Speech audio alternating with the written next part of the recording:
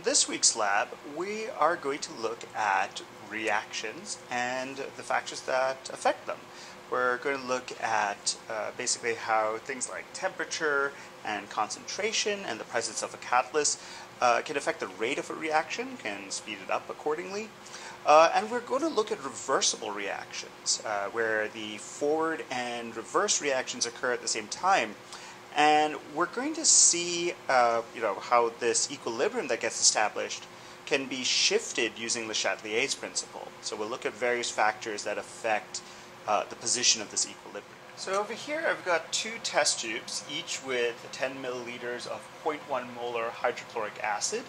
Uh, we're going to look at the effect of temperature on the rate of reaction. So we're going to uh, add some uh, sodium bicarbonate or baking soda to the samples of hydrochloric acid and see how quickly the uh, carbon dioxide bubbles clear away. Now, uh, you know, we're going to, we're obviously we have a hot test tube and a cold test tube, so we're going to see the effect that uh, temperature has on each of these solutions. All right, so if we look at our thermometer here, we can see that we are at a temperature it might be a little hard to see here with this, uh, this webcam, but I would say we're about 52 degrees Celsius, probably climbing a little bit by the time we, we get this uh, thermometer taken out, uh, or its test tube taken out. But we'll let this uh, ice bath here also cool down. We can see what temperature that's going to be at. All right, now it seems to be cooling down to about might be a little hard to see there, but it's right now it's about 6 degrees Celsius. Okay, so let's uh, go ahead and put those in a test tube holder. Okay, so I have my two test tubes here. The one on the left is the hot one, that's about um, you know about 53 degrees Celsius, and the one on the right is the one that dropped down to about 6 degrees in the uh, in the ice bath. So let's go ahead and add a spatula tip full to each of them quickly.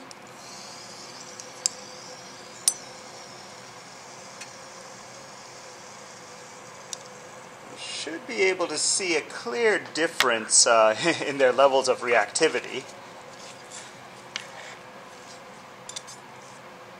So you can see, uh, if you're having trouble seeing them, the, uh, the one on the right is still going. It still has, you can see the cloudiness from uh, the unreacted uh, sodium bicarbonate and the bubbles that are still evolving from it. Whereas the one on the left is our hot water one. You can see that it's, uh, it's definitely cleared up a lot faster there. Okay, so if you're having trouble seeing that, uh, let's uh, hold that against the, the dark background of the um, uh, of our bench top here, and hopefully that'll be a little bit easier to see. Okay, so you can see our test tube on the right still has bubbles evolving, okay, whereas our test tube on the left, which was in the hot water bath, cleared up much, much quicker. Alright, here we have three test tubes of uh, hydrochloric acid, each with 10 milliliters, but the difference between them is the concentration of the hydrochloric acid. In our test tube on the left here, we have one molar hydrochloric acid. Okay, that means that for every liter of the solution, there's one mole of HCl dissolved in there. Uh, in our second, uh, in our second uh, test tube, we have two molar HCl, so double that concentration. And in our third test tube, we have 3 molar HCl, triple that concentration of our first one.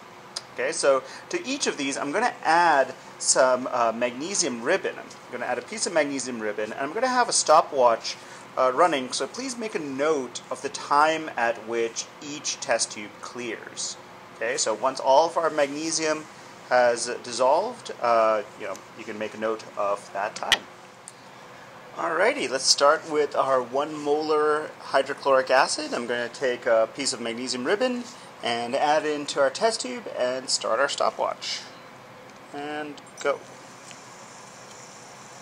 Okay, you can see the uh, hydrogen gas that's uh, bubbling from there, you know, that's uh, being produced as the magnesium displaces the hydrogen in our hydrochloric acid.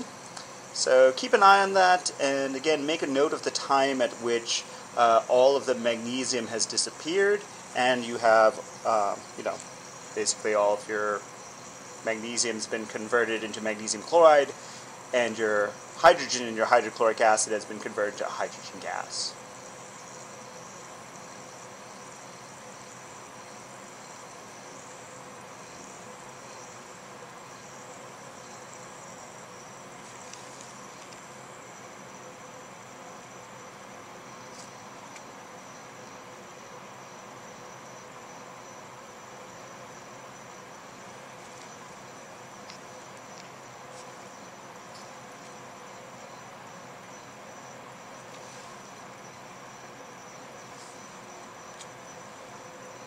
It's still bubbling. So make a note that, uh, you know, basically you're waiting for it to stop bubbling completely.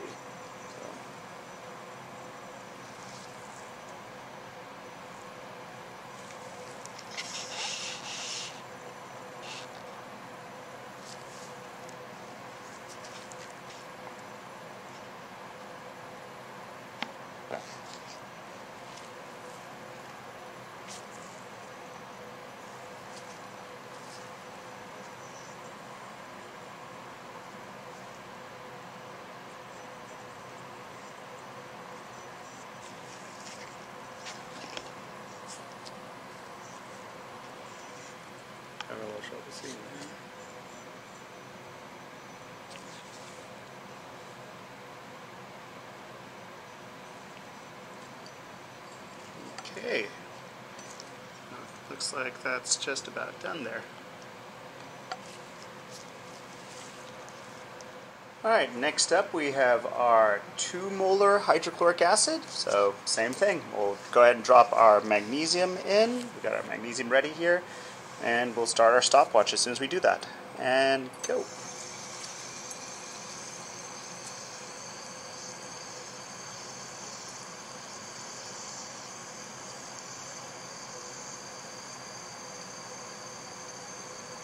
Yeah, notice that the, the bubbling seems to be a little bit more vigorous here, right? So uh, please note that rate and time are not the same thing. Um, you know, when when the speed or rate of your reaction increases, the time it takes to finish should decrease. So be very wary of how you phrase your answer. So you can see already that uh, you, know, you might want to rewind this and see at what point uh, the magnesium disappeared, but you can see it's already all gone. Um, so uh, be wary of how you phrase your answer, whether you're talking about the speed or rate of the reaction versus the time it takes for the uh, magnesium to disappear. Alright, and here's our third and final test tube of uh, 3 molar hydrochloric acid. We're going to add our magnesium to that and get ready to start our stopwatch. And go. And notice this is the most vigorous yet, so again, uh, the speed at which uh, the reaction uh, occurs, the, the, vigor or uh, those bubbles appearing, so that effervescence is, you know, not the same thing as the time it takes for it to disappear, which hopefully you should be, you know, made a note of there. Okay, and that's it for that one. In this part of the lab, we are going to take different catalysts, or, or things that could be catalysts at least, and uh, add them to the decomposition of hydrogen peroxide. Now, if you recall from an earlier lab, uh, hydrogen peroxide decomposes into water and oxygen gas, but this reaction is very, very slow. Now, we sped up the reaction last time using some potassium iodide, um, and so in this lab, we're going to try a few other things to try and speed up this really slow reaction. So up here you can see I've got five test tubes. Uh, I've already added two milliliters of hydrogen peroxide to each of them. Okay, so if you want to have a little close-up look over there, there's our five test tubes, and it's kind of hard to see any bubbles forming. Right? Uh, I'll see if I can get you a closer look later on once we get these reactions started. The various uh, catalysts or potential catalysts we're going to use today include uh, manganese 4 oxide, commonly known as manganese dioxide. We have mossy zinc, uh, which is basically just uh, you know little chunks or granules of zinc. Uh, over here we have the world's cutest potato. Uh, potatoes are very versatile. They have, uh, you know, well, you can boil them, mash them, stick them in a stew. Uh, but they also contain catalase. Now, catalase is a protein that functions as an enzyme. Now, uh, if you've taken a biology course before, you've probably learned about enzymes and learned that they are uh, basically protein catalysts, right? They can uh, catalyze reactions, speed them up, or carry out certain reactions. Uh, and uh, so catalase is one of these. So we're going to see the effect of catalase on hydrogen peroxide to see whether it happens to catalyze that particular reaction or not. Um, over here, of course, we have some boiled potatoes. Now, why are we using boiled potatoes as opposed to a regular potato? Um, well, boiling actually denatures catalysts. Uh, it uh, denatures proteins in general. It causes the shape of the protein to change, uh, and therefore it doesn't uh, have the same physical properties, and in some cases, chemical properties. Uh, so we're going to see whether the denaturing of the uh, the catalase protein in your potatoes stops it functioning as an enzyme, stops it functioning as a catalyst. Okay, so uh, something to keep in mind when you see the results of this lab, okay, or this part of the lab. Alright, I've gone ahead and added a dark background here to our five test tubes, uh, each with 2 milliliters of hydrogen peroxide. Um, so hopefully that'll make things a little bit easier to see.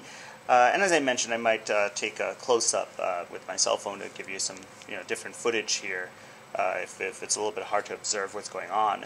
Now, over here in our first test tube, uh, we're going to use this as our reference or standard. Uh, so I'm basically not going to add anything to this. Uh, this has 2 milliliters of hydrogen peroxide, and you can kind of see uh, what the effect is when we don't, uh, you know, when we, um, well, when the reaction happens uncatalyzed. if you recall, uh, from that uh, from the lab we did earlier on types of reactions, uh, this is a very slow reaction. So even though technically this is decomposing, uh, this is happening so slowly that you probably won't observe any bubbles of, of oxygen forming. It's, it's almost impossible to notice. Here's a close-up of our reference test tube or standard, uh, just so you can see um, you know, the uh, well, lack of evidence of de decomposition here, just showing how slow this uncatalyzed reaction is. You can't really see any bubbles right now. So uh, again, this is a good comparison uh, for whether or not, uh, you know, we have a catalyzed reaction. You'll see that when we do have a catalyzed reaction, there'll be a pretty stark difference in the number of bubbles and the speed at which they appear. Okay. So to the second test tube over here, we're going to add a little bit of our manganese uh, 4 oxide. Okay, so Let's go ahead and add a tiny spatula tip full of that, and we'll get to see, observe some of that reaction.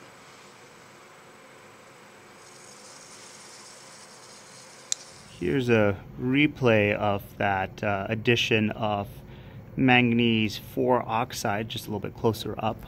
Uh, so you can see uh, uh, definitely uh, there's a significant difference here from uh, our standard, our reference test tube. Um, okay, so all those bubbles you're seeing are actually bubbles of oxygen gas being produced by the decomposition of hydrogen peroxide into water and oxygen. Okay, so, so notice the, the vigorous bubbling that we observe here uh, compared to our reference test tube. All right, to this third test tube, we're going to add our mossy zinc. Um, so again, just uh, you know, take a little bit, a little piece of this zinc, probably take this little chunk here. I don't know if you guys can see that very well, but there's a little chunk of that zinc. We're going to add that to test tube number three. And there we go.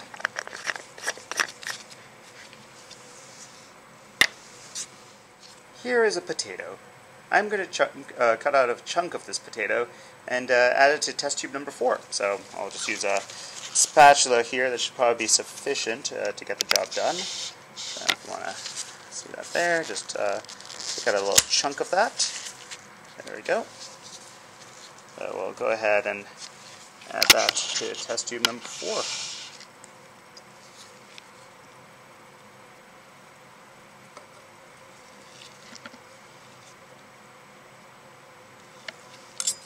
Yeah, there we go. You should be able to see the uh, bubbles coming off of our chunk of potato. Okay, so hopefully from this angle you should be able to see a stream of bubbles coming off of our potato.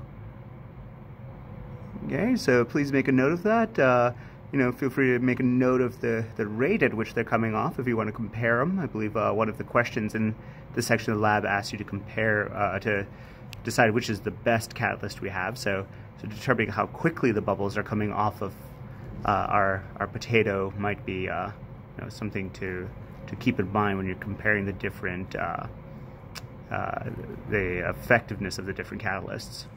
All right, so here we've got our uh, can of potatoes. Uh, so again, these have been pre-boiled before they were canned. So you can see we've got our slices of potato here. Uh, I'm going to go ahead and cut out a chunk of uh, one of these with a spatula and add it to test tube number five. And we'll go ahead and observe, uh, well, what there is to observe.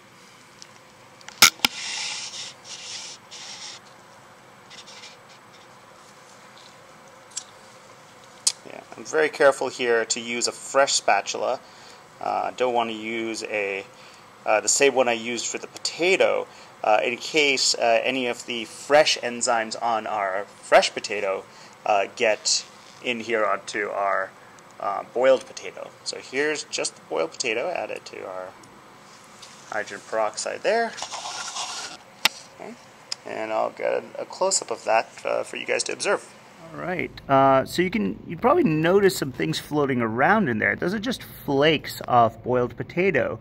Uh, you can tell they're not oxygen because oxygen gas would have would start. Those bubbles of oxygen gas would be rising uh, to the surface of our hydrogen peroxide.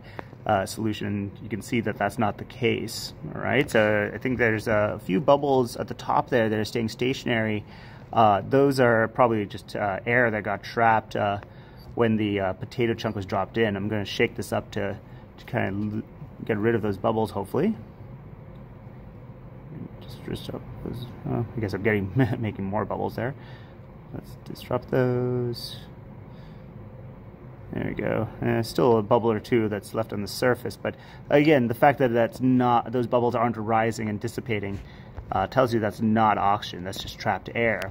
Uh, so again, you can see the little bits of flakes in there, those are flakes of potato, not uh, actual oxygen gas. Okay, if they were bubbles of oxygen gas, they'd be rising up to the surface. Okay, they're just sinking to the bottom because they're potatoes. And I just wanted to point out this uh, little difference uh, between boiled potatoes, or this fresh potato over here, and a boiled potato over here on the right.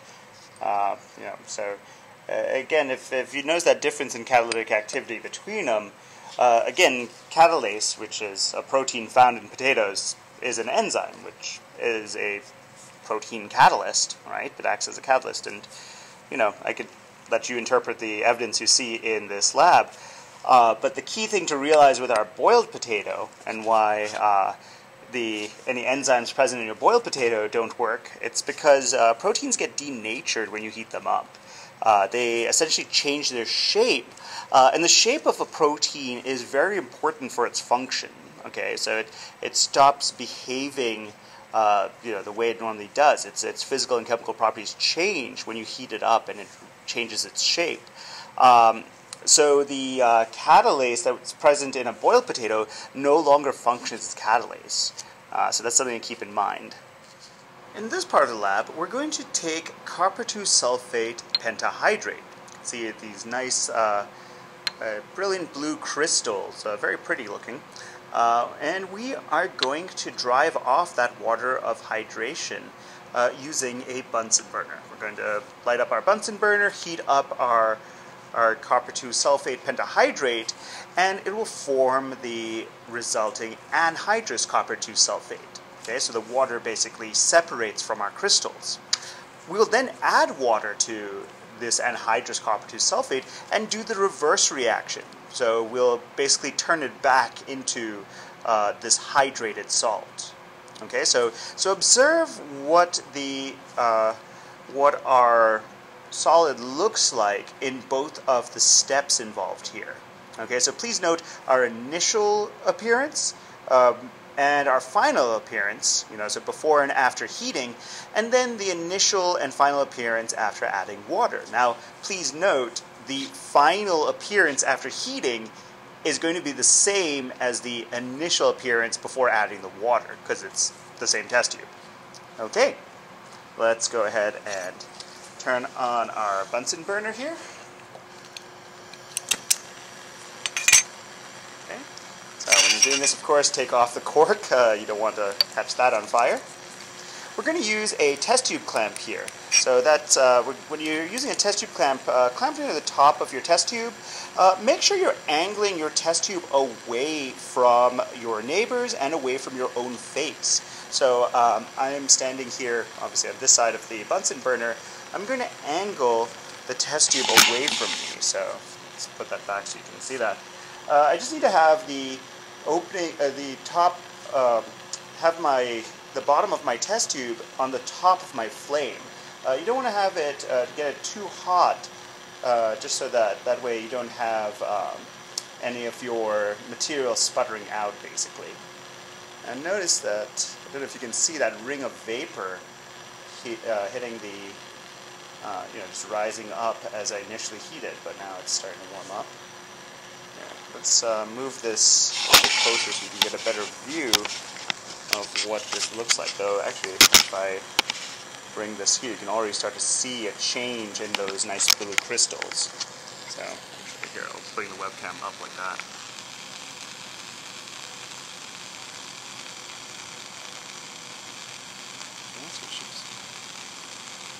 They start to see some changes there.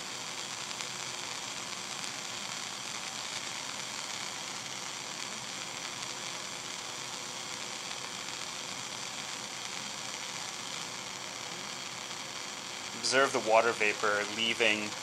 Uh, well, you're actually seeing the water reforming. That's the a um, the vapor or the um, steam you see coming off is water vapor hitting the surrounding cold air and reforming as droplets of water. Uh, you can actually see droplets of water on our test tube near the mouth of the test tube that's cooler. Uh, you can see where it's condensed down into actual droplets of water. Okay, so you can see that uh, I've still got a little bit of the and of the uh, hydrate at the top there, but you can see uh, clearly there's a difference uh, with the stuff on the bottom. Okay. I'll just try and heat that a little bit more evenly, and, and we can compare that a little bit more.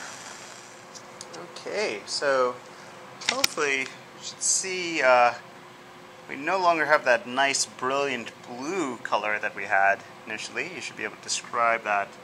Well, hopefully that should, uh, once that comes into focus a little bit, that should help you describe your salt. Okay, let's set that down to cool and we can describe that a little bit better.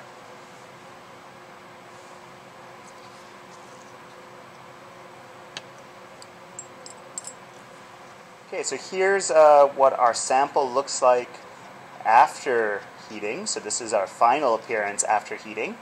Okay, so please make a note of how that looks different from the initial appearance that we started with. So I mentioned earlier that the final appearance of our test tube after heating is the same as the initial appearance before we add water. So here's our initial appearance before we add our water. And I'm going to add a few drops uh, using this dropper of, uh, of water into our test tube. So just observe what happens as drops go in.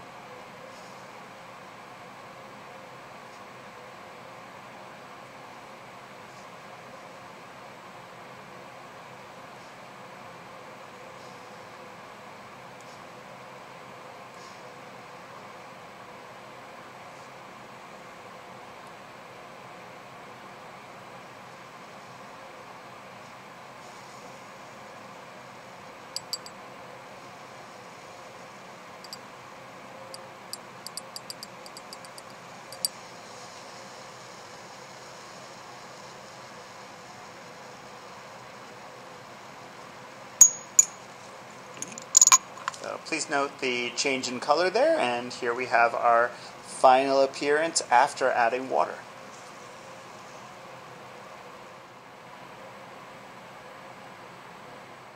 over here I have two test tubes of 0.1 molar copper 2 chloride. That's CuCl2.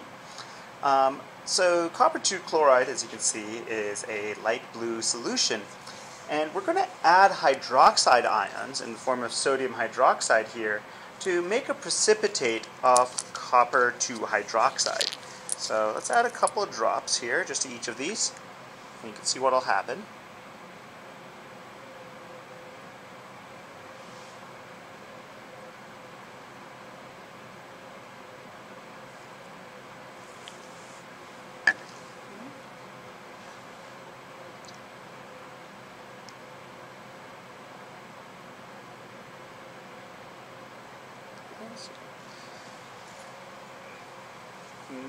Notice where the drops hit the solution, get this nice uh, sort of dark blue precipitate.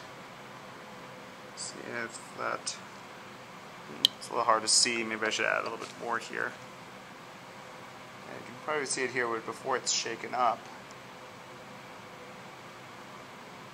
I'll let it come into focus. And there it is. And so if I shake that up, see that bright blue precipitate. Let's add a little bit more sodium hydroxide so it's a little bit more obvious.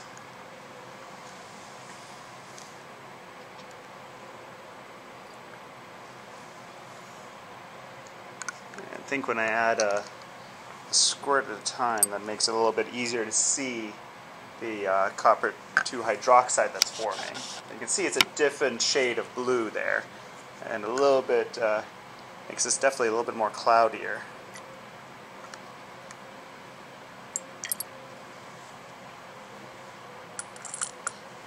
Yeah, I think now it should be hopefully a little bit easier to see uh, that brighter blue color of the copper 2 hydroxide that we're making uh, as opposed to the sort of greenish blue of the original copper 2 chloride. Uh, so let's go ahead and shake that up so you can see the effect. You can also notice that it's getting, you know, our, our mixture is definitely more opaque here, you know, than it was, uh, than what we started with. Um, copper 2 chloride, for the most part, is, uh, is aqueous. It's water soluble. Um, but I think uh, maybe due to the concentration, it has like a little bit of cloudiness to it, maybe because it's a little cold in here. Uh, but you can see here clearly now that we've got that solution of, or that uh, precipitate of copper 2 hydroxide. Okay, so make a note of this initial appearance of test tube 1 and test tube 2 in our, uh, you know, after we've added hydroxide to each of them. Okay. Now, I'm going to go ahead and add some more hydroxide to test tube 1. Let's see if we can notice any change in appearance uh, compared to test tube 2, which will mark what it looked like originally.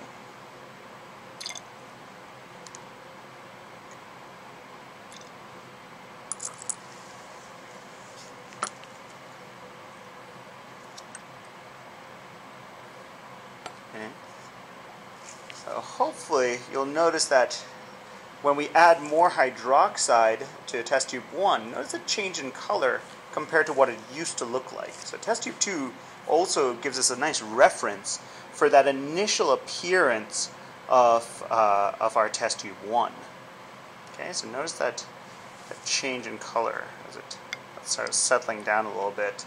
So I need to shake it up to try and make it a little bit more obvious again. It's, it's a little subtle, but that's the, the change in color there. Okay, so now to test tube 2, I'm going to add some hydrochloric acid. I have uh, 0.1 molar hydrochloric acid here, and I'm going to add an equivalent amount dropwise to test tube 2.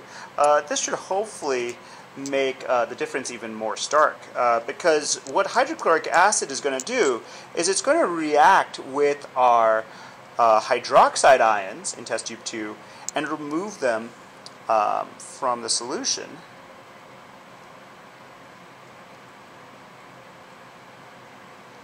and you should see the shift in equilibrium accordingly.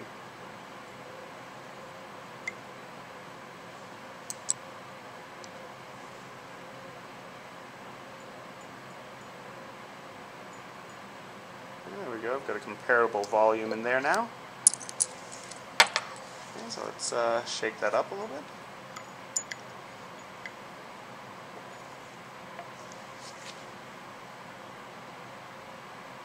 And there you go. You can see a uh, clear difference now uh, because we've used up our hydroxide and you can see that we've gone back to our copper ions being water soluble. Okay, so hence the, the test tube cleared up a bit.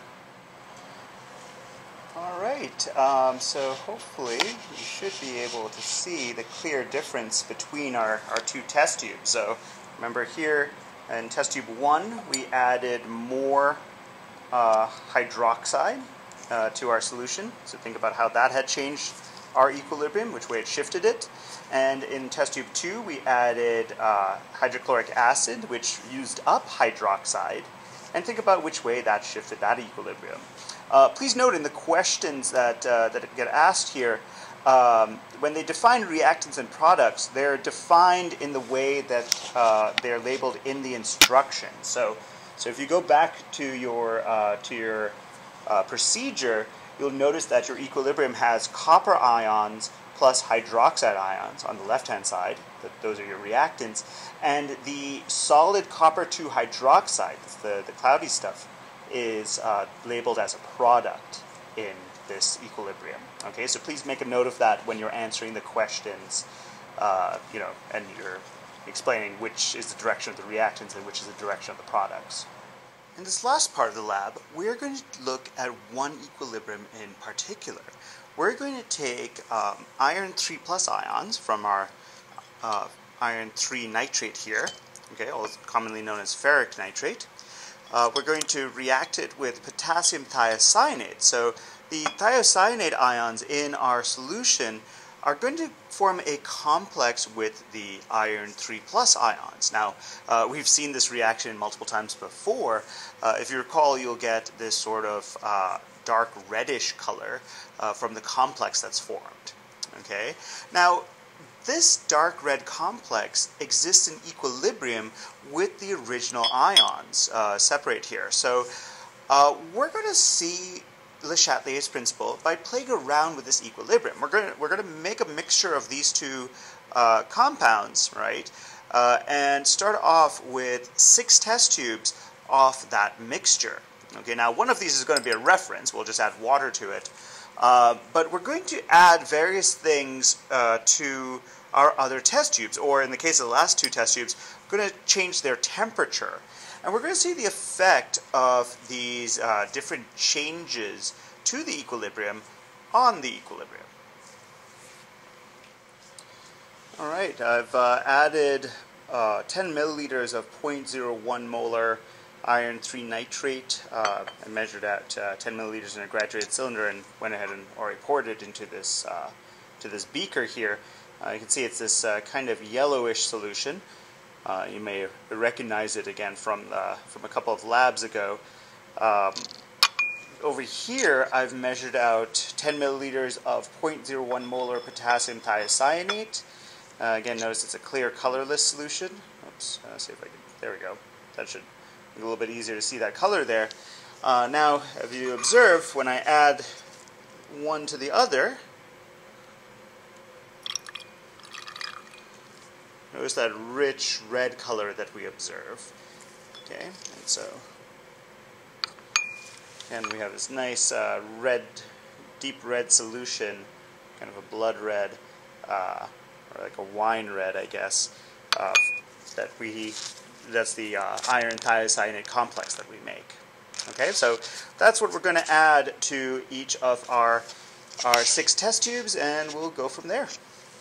Alright, you can see here that I've added uh, about 3 milliliters of the solution uh, of our equilibrium mixture to our six test tubes. Now to our first one over here on the left, I'm going to add 10 drops of just plain distilled water here. Um, we're going to use that as our reference test tube.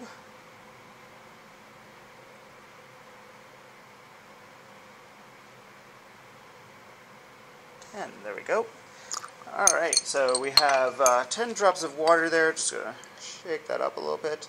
Uh, slightly dilute our, our solution down, but you can see that uh, you know, and increase our volume obviously as well. Uh, but uh, make a note of the color that we've got here. Uh, I'll leave this up so then we can compare colors for all of our subsequent test tubes that we're going to add different chemicals to. All right, so over at test tube number two, I'm going to add 10 drops of one molar uh, iron 3 nitrate.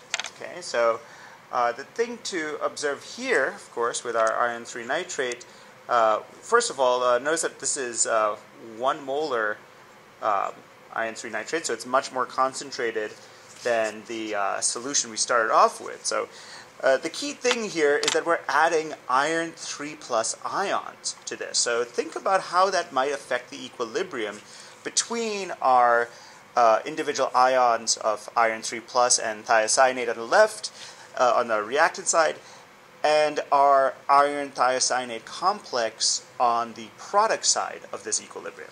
All right, so let's go ahead and add our 10 drops of solution uh, of our iron 3 plus solution to this.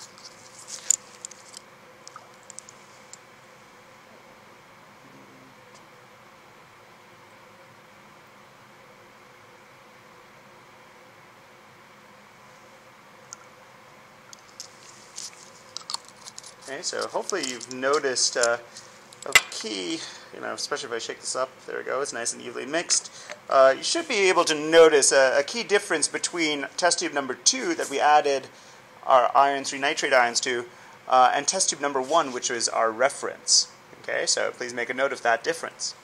Now, to test tube number three, we're going to do something similar. We're going to add one molar thiocyanate, uh, potassium thiocyanate solution. So again, the idea here is we're adding the reactant thiocyanate. Okay, so think about how this might affect your equilibrium.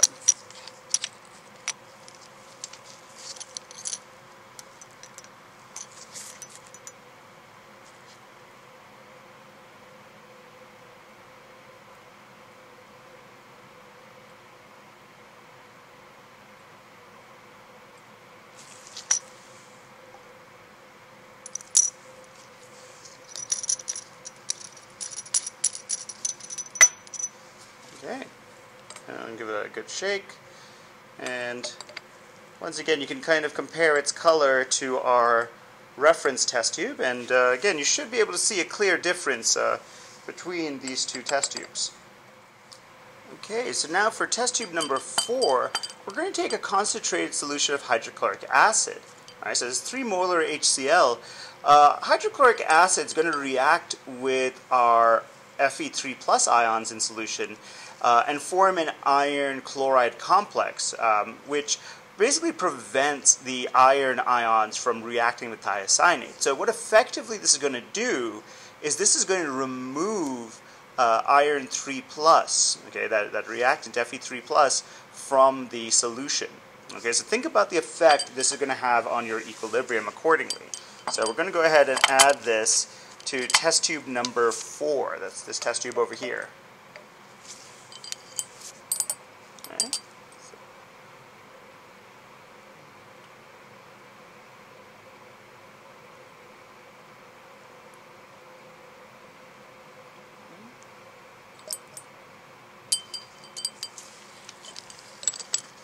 Okay.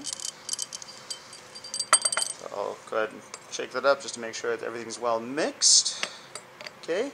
And again, you should be able, hopefully, to see the difference between our test tube number 4 and our reference test tube number 1. There should be a pretty discernible difference between the two. Okay, so please make a note of that difference and account for that difference. Why did that, uh, why do we see the difference that we do? You know, which way has this equilibrium shifted? All right, for the last part of this, uh, section, and the lab in general, we're going to take test tubes 5 and 6. We're going to put them into an ice water bath and a hot water bath, respectively, uh, and see how that affects our equilibrium. All right, so uh, when, uh, you know, accordingly, you'll see that one of these uh, will shift towards the reactant side, the other shifts to the product side.